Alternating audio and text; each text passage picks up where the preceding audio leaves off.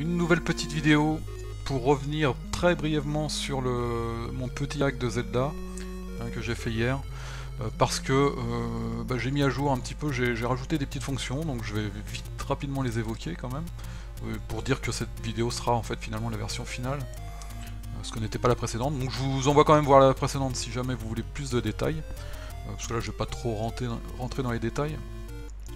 C'était un, donc un petit hack de Zelda qui consistait à améliorer le menuing du jeu, c'est-à-dire euh, donc la façon dont on interagit avec le, menu, qui n'était pas, euh, qui était mal fichu quoi, dans, le Zelda d'origine, qui n'était pas ergonomique. Donc, bah, sur la, vidéo précédente, j'avais donc montré ce que j'avais fait, c'est-à-dire, voilà, vous le voyez ici, pouvoir changer les items avec le bouton Start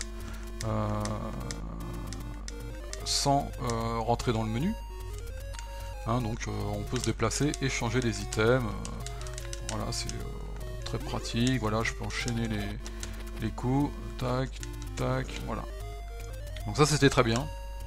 Mais voilà, on a quand même besoin parfois d'activer le menu quand on est en situation de danger dans l'urgence. c'est bien pratique d'activer le menu pour avoir le temps de sélectionner un item euh, sans se précipiter.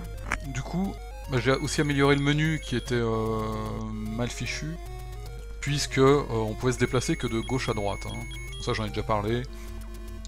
Donc du coup, pour prendre par exemple la flûte, il faut se déplacer à droite quatre fois pour arriver ici. moi ce que j'ai ajouté donc c'est la possibilité de se déplacer en deux dimensions, c'est à, à, la fois à la verticale et à l'horizontale comme dans un vrai menu plus moderne. Euh, donc voilà, maintenant on peut se déplacer comme on veut, c'est beaucoup plus intuitif, euh, vraiment.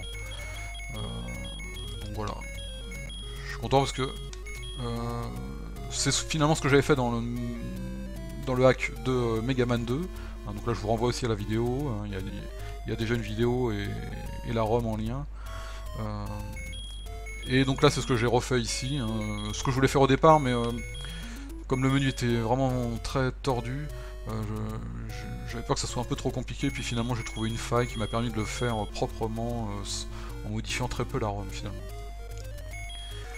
Donc ça c'est très bien, il a juste fallu que je fasse euh, quand même attention notamment à, la gestion des trous, hein, parce que ce genre de menu ce qui est compliqué c'est gérer les trous. C'est-à-dire, bah, par exemple là si j'appuie sur O, il n'y a pas d'objet, donc comment faire?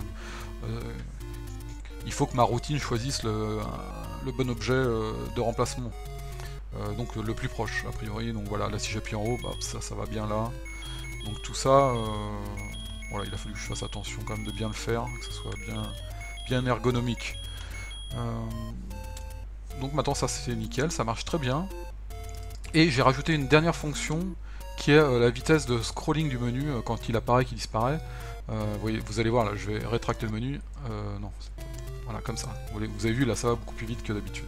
Alors, malheureusement, je peux pas le faire quand on ouvre le menu. Là, c'est la vitesse... Euh, voilà, quand on ouvre le menu, c'est la vitesse d'origine, euh, qui est de 3 pixels par frame exactement, si vous voulez savoir.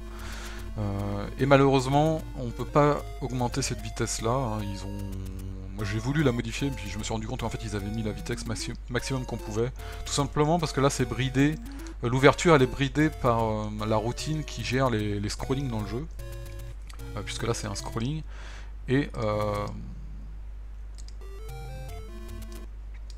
cette routine, elle est bridée par la vitesse où est mise à jour la, la VRAM, mémoire vidéo.